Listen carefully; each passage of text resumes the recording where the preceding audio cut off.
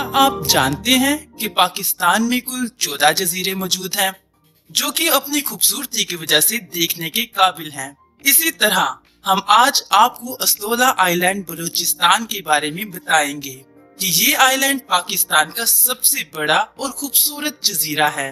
अस्तोला island को मुकामी ज़ुबान में हफ्तलार भी कहते हैं, क्योंकि ये आइलैंड सात छोटी चोटियों से घिरा हुआ है। ये अरब समंदर में एक छोटा सा नाकाबिल यकीन पाकिस्तानी जजीरा है, जो तकरीबन 25 किलोमीटर करीबी हिस्से के जनूब में वाक़ है।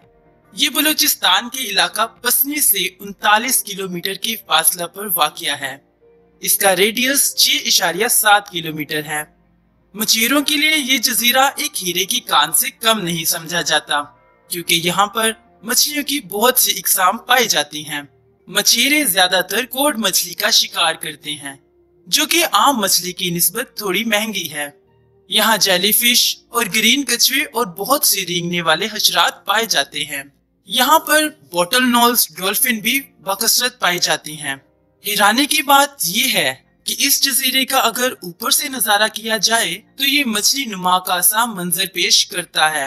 ये जजीरा बाकी जजीरों से ज़्यादा साफ़ सुथरा और खूबसूरत है। यहाँ पर बहुत सी कुदरती गुफाएँ हैं।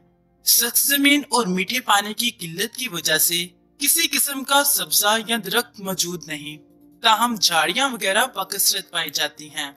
यहाँ पर मौजूद सबसे बड़ी झाड़ी का नाम प्रोस्पिस जेलीफ्लोरा है। यहाँ पर 1982 में एक लाइट हाउस भी बनाया गया, ताकि बहरी जहाजों के गुजरने के लिए आसानी हो।